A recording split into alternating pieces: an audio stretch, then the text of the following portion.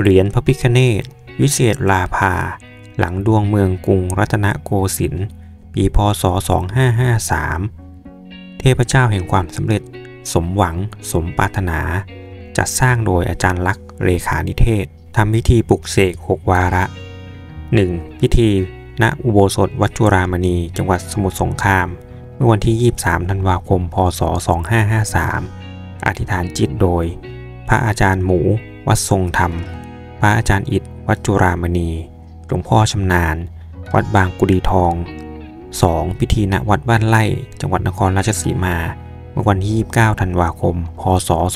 2553 อธิษฐานจิตปลุกเสกโดย ท่านเจ้าคุณธงชัยวัดไตรมิตร หลวงพ่อคูณ ปริสุทธโธแห่งวัดบ้านไร่ 3. พิธีณอุโบสถ วัดทรงธรรมวรวิหาร จังหวัดสมุทรปราการ เมื่อวันที่ 29 ธันวาคม พศ 2553 อธิษฐานจิตปลุกเสกโดย พระเทพกิติเมธี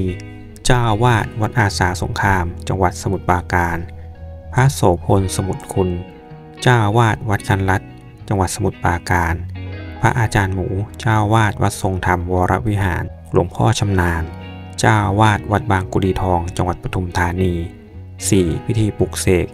ณพระอุโบสถ วัดชัยโยวรวิหาร จังหวัดอ่างทอง 5. พิธีณอุโบสถวัดป่าธรรมโสพล จังหวัดลบบุรี 6. พิธีณอุโบสถวัดแค จังหวัดสุพรรณบุรี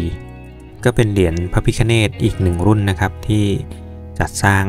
พิธีใหญ่ 6 พิธีด้วยกันนะครับ จัดสร้างโดยอาจารย์ลักษ์เลขานิเทศเมื่อปี พศ 2553 คาบเกี่ยวกับปี พศ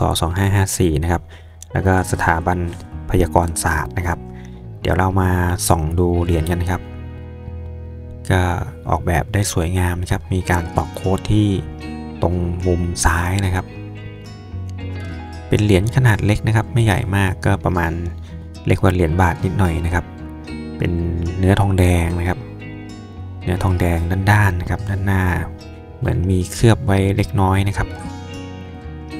ก็ถือว่าเป็นเหรียญอีกหนึ่งเหรียญที่สวยงามนะครับ เดี๋ยวเรามาดูด้านหลังนะครับ ด้านหลังจะเป็น ดวงเมืองกรุงรัตนโกสินทร์นะครับ เป็นดวงเมืองนะครับ